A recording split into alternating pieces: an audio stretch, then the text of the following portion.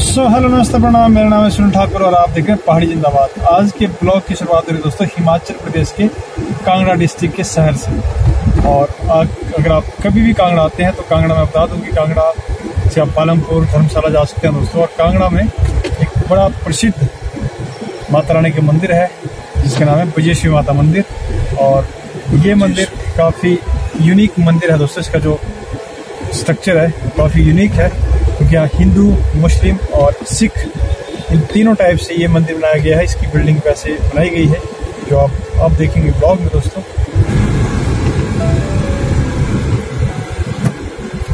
ठीक सामने आप देख रहे हैं दोस्तों, दोनों साइड है कांगड़ा का शहर और यहाँ से शिमला की दूरी तकरीबन 220 किलोमीटर, हमीरपुर 75 मैदान 47 ज्वालामुखी 35 किलोमीटर, उन्ना 107 और चिंतपूर्णी 59 किलोमीटर दोस्तों।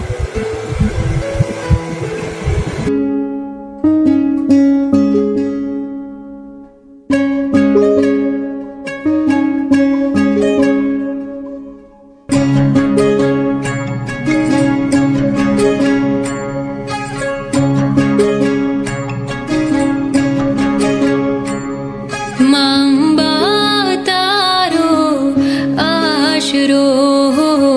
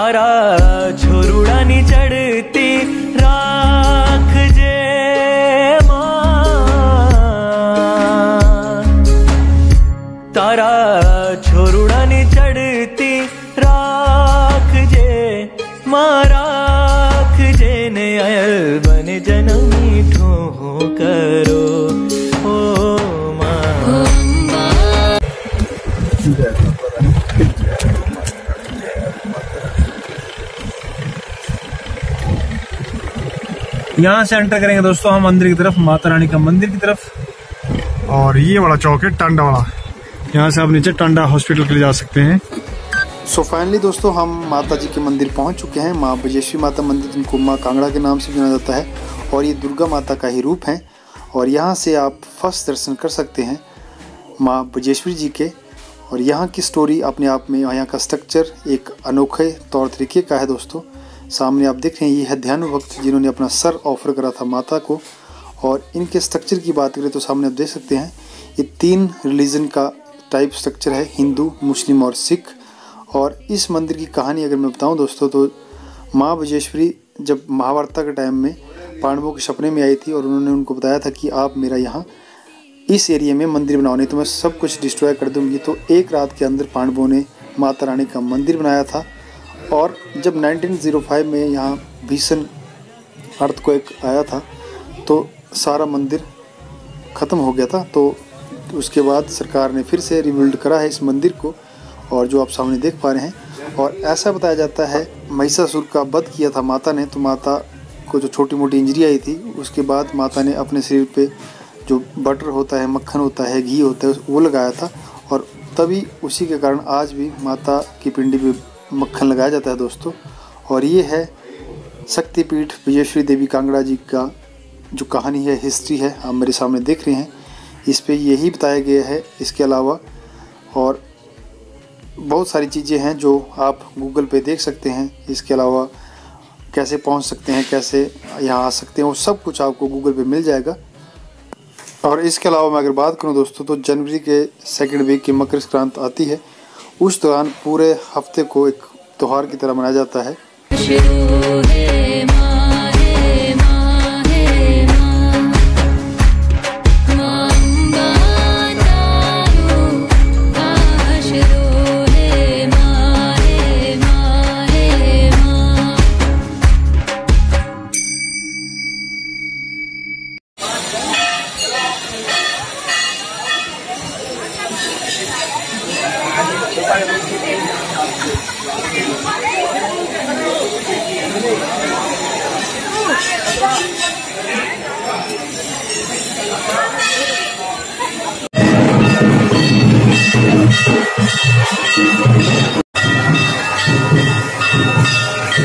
यहाँ का प्रसाद। है क्या पूरियाँ भाई और चने है ना? हाँ, पूरी और चने स्पेशल चने। और पूरी बनते हैं। अच्छा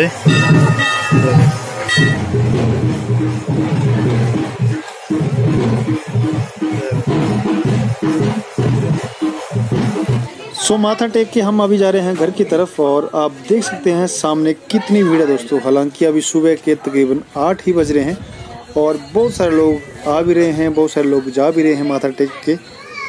ये। हाथी मेरे साथी। अभी हम दोस्तों माँ विजयश्री माता मंदिर में जाके आ गए हैं और आपने जैसे देखा कि बहुत भीड़ थी वहाँ। सामने आप देखते कांगड़ा का फोर्ट। ये देखो।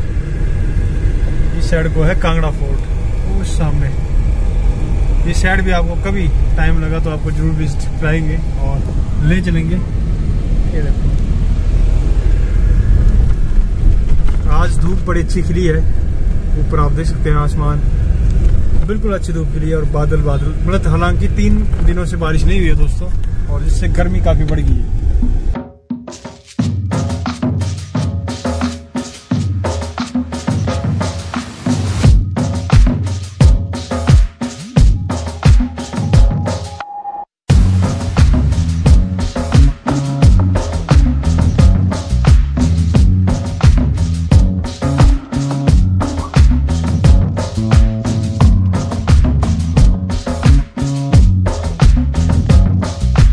इतना हाल है दोस्तों, क्योंकि तीन दिनों से लगातार बारिश नहीं हुई है।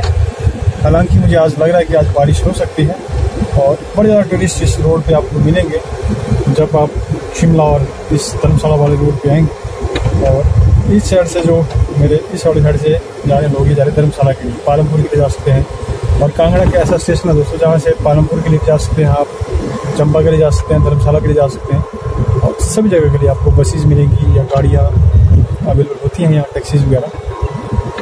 और कांगड़ा में जब आप आते हो तो एक तो कांगड़ा का फोर्ट है। बड़ा पुराना, काफ़ी वर्ष पुराना, बड़ा सुंदर है वो भी। और विजयश्री माता का मंदिर, चामुंडा माता मंदिर नियरेस्ट ज्वालाजी माता मंदिर है, चिंतपूर्णी माता मंदिर है। ऐसे बहुत सारे मंदिर शक्तिपीठ आपको देखने को मिलेंगे तब यहाँ टूरिस्ट भी बहुत ज़्यादा होते हैं।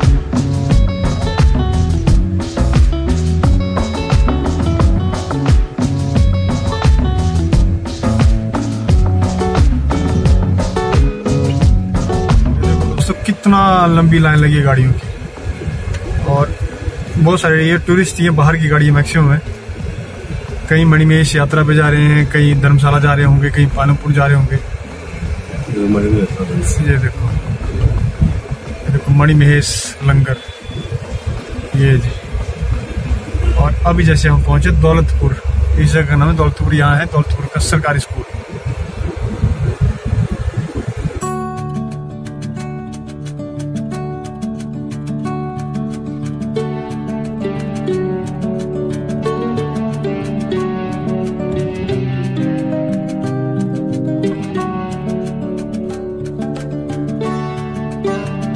ये है दोस्तों रानीताल और रानीताल से आप बंगलामुखी माता मंदिर की दूरी है 10 किलोमीटर, चिंतपूर्णी 43 किलोमीटर। और यहाँ से मैं आपको बता दूँ कि इस यहाँ से आप राइट हैंड साइड जा सकते हैं उन्ना के लिए, माँ बंगलामुखी मंदिर के लिए, चिंतपूर्णी माता के लिए और यहाँ से ज्वाला जी और शिमला के लिए।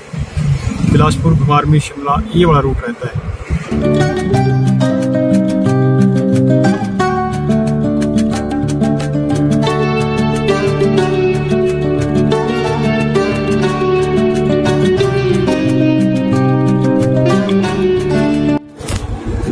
तो दोस्तों, हम अभी पहुँचे हैं ज्वाला जी, ज्वालामुखी मंदिर के पास और बड़ी दूर दूर से यहाँ लोग माथा टेकने आते हैं। ऑल ओवर पंजाब से हो गया या ऑल ओवर इंडिया बोल सकते हैं। यहाँ माँ ज्वाला जी के दर्शन आप कर सकते हैं, वो भी एक शक्ति रूप में दोस्तों ये उसके प्रत्यक्ष प्रमाण है यहाँ।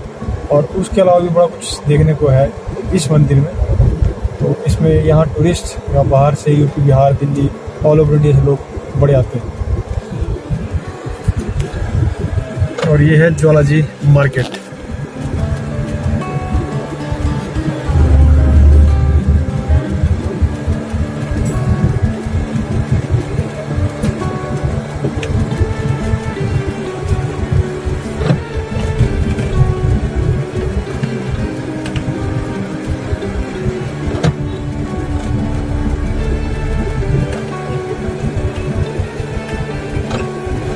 Thank you. ये रहा शक्तिपीठ श्री ज्वाला जी का एंट्रेंस गेट माँ ज्वाला जी, सारे मेरे व्यूअर जो मुझे देख रहे हैं, सब पे अपनी कृपा में रखे ये मनोकामना मैं करता हूँ दोस्तों। और इसी कारण शायद हिमाचल को देवभूमि कहा गया, क्योंकि हर एक इसी दायरे में कम से कम पचास किलोमीटर के एरिए के तकरीबन चार माताओं के मंदिर है चित्रपूर्णी बंगलामुखी, विजयेश्वरी, चामुंडा, ज्वाला जी। तो ये सब माताओं के मंदिर इस एन पे आपको बिल्कुल साथ में लगते मिल जाएँगे। और बड़ा मन खुश हो जाता है जब भी माथा टेकोगे आप इन मंदिरों में। अगर आए हो, बालनगुड़ अगर नहीं आए हो तो एक बार आप ज़रूर विज़िट करें। हिमाचल के जितने भी शक्तिपीठ हैं, वो आपका मन भक्तिमय और एक सुख अनुभव करोगे आप।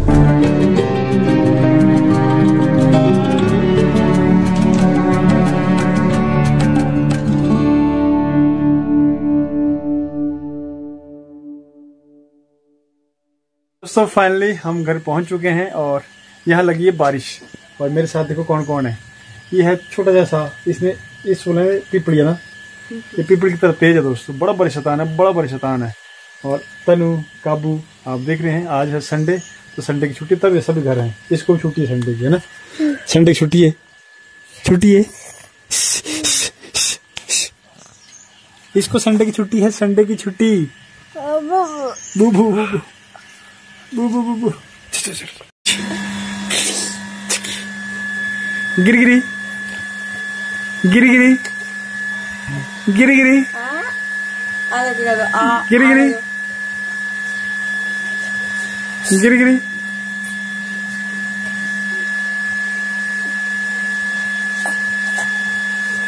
गिरी गिरी